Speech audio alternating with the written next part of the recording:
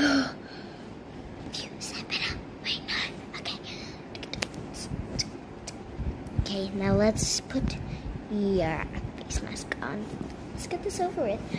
Okay, got it.